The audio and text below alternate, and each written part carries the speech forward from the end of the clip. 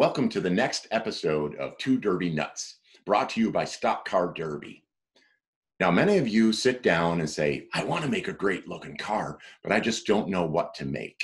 This episode, we're going to talk a little bit about how we came up with some of the ideas and ways that maybe you can uh, think of a, a cool looking car to make.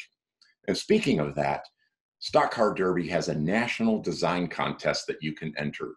If you go to stockarderby.com, click on the National Design Contest, and it has all of the rules for you to submit up to three photos of your car.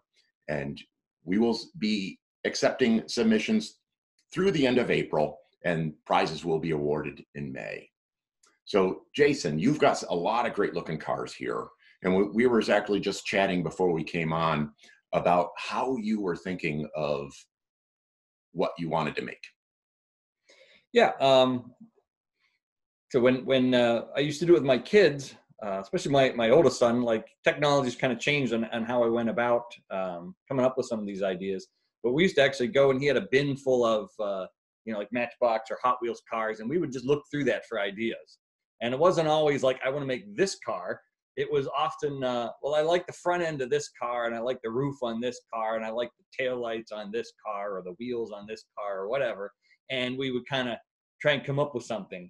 And uh, you know, one of the things I, I used to do was uh, I would take, take I took a block of wood and a piece of paper and a ruler, and I actually um, measured out and drew to scale um, a, a, template. So basically, you know, I, you had this view of the car, and then I would you know draw this view of the car, and, and maybe the top of the car. Um, and so I'd have these different views on a piece of paper, and then I made copies of that. And then I just take a pencil and sketch over top of it so that I knew that it would fit this block. Yeah. You know, I'd say, okay, well, you know, if we shaved a little off here, added a little here, took off a little here. Um, and I actually got to point like when when I had a, um, a post in Stockade, I made copies for all the boys, and we would sit there and, and just play around with some ideas. And it was called brainstorming. So we'd brainstorm some different ideas and just sketch some things out. And uh, later on, it got to the point where um, you know I would do a lot of research online, looking at photos of things, and you know, like if I got an idea in my head, I'm going to make that. Could I pull that off? Um, and especially if you're trying to make something that looks like something, it's good to have. Uh, obviously, if you have an actual physical thing to base it off of, like uh, you know, this particular car here uh, was a '68 Mustang. I actually had an old plastic model kit of a 68 Mustang that I was able to have in front of me and, and kind of take a ruler and, and measure and, and kind of get some ideas of, of the dimensions of it and then try and replicate that in this car. So, you know, I think source material is, is a big thing. Uh, if you can't find, you know, like one of my kids, when I, when I did Lightning McQueen, one of my kids had a toy car of Lightning McQueen. So I could actually hold it in my hand and kind of turn it around. And, yeah, I've, I've done that a lot. I've done that a lot too. I'll yeah. go to the toy store and actually buy. I bought a bus. I, I, I literally bought. okay, that a is a sickness if you're buying stuff. car. Same thing with the the fire engine, and I use that. In fact, I um, I don't even know. I might have pulled the ladders for this off of that Matchbox car that that I purchased. I had a camper, and that was a big part of uh, you know my kids growing up. Is we would go camping a lot, but it was a pop up, and I didn't know how to make a pop up as a derby car. So that's where I kind of inspired to make a motorhome, you know, the full blown motorhome from it. How, how you know you said that, uh, it, that you wanted to make something easy with the lawnmower. Mm-hmm. Same thing. There was one year that I was really getting uh, behind in time, and you know I always would uh, chastise might be the right word, maybe too strong a word of some of my friends. Oh, I don't have time and it's like no you just didn't make it a priority because when you have a disease like this you you just can you you make sure that you find the time. But i was running out of time and like what am i going to do? I need to make something that won't take as many hours and i was eating an ice cream sandwich. And it's like let's do that. And i thought it would be you know quite simple and easy to make. So that that's how i was actually inspired. I was just sitting there uh, eating eating the sandwich, and that's where I came up with the idea for that. And same thing, I kind of went along with the um, the the same motif. It was a couple years later. Again, I didn't have as much time. This one I lost a wheel. I've got to find. So I made some creamsicles, and you you you think of like Jason said he had the he has the self-imposed rule that it has to have wheels in real life. Uh, I I do not, and this was very easy to make. Uh, even put popsicle sticks in the in the back end. Is it, what are some uh, other creative? You know, you said your wife was involved in some of the designs of getting you. How did you? When did you come up with the design for Derby? or Oh, Derby? for Herbie. um, yeah, this was one of the later ones. Um, you know, after I, I- learned some different things, uh, this is certainly not something I would have attempted uh, year one. Um, I, I probably wouldn't have thought something like this was possible the, the, the first couple times I made a car with with the kids or even by myself.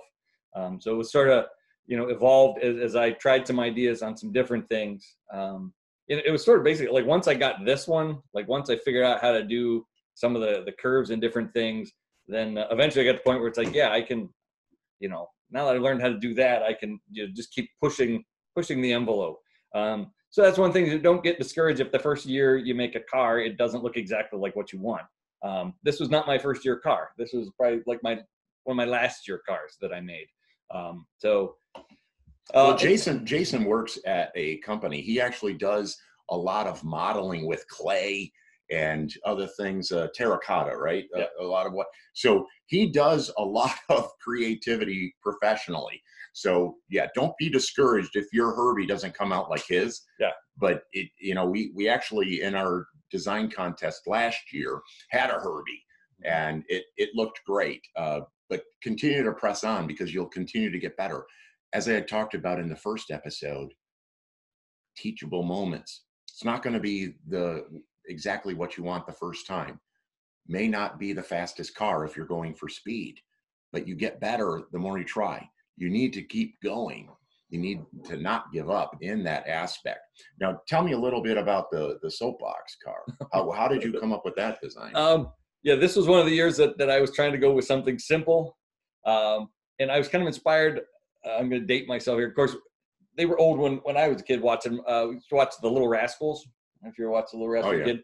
And, you know, The Little Rascals never had any money and stuff. So they were just building things out of junk. So they used to build these, you know, these, these little go-kart, you know, race car things that you just, you know, ride down the hill and they just make it out of just junk. And, you know, they'd have like a wooden crate and, you know, just wheels that they they took off of a baby carriage or something and uh, you know they'd have like tin cans for headlights and different things so i, I kind of wanted to make something that, that sort of looked like that so yeah a lot of my cars were inspired by things that i've seen you know um, right. like a lot of these are kind of like i said iconic cars like um, you know i know a lot of kids make make like the batmobile because everybody knows like Yes. the batmobile you know you want to make something cool that people are like hey that's the um, and, and that's a fun thing to do. Sometimes it can be a challenge though because everybody knows what it's supposed to look like. Um, Yeah. So it, it can be tough to to make it look like that. Well, it And, uh, depends on you know if you're talking Adam West Batman versus sure, sure. But even things like the school bus, like everybody knows what a school bus is supposed to look like.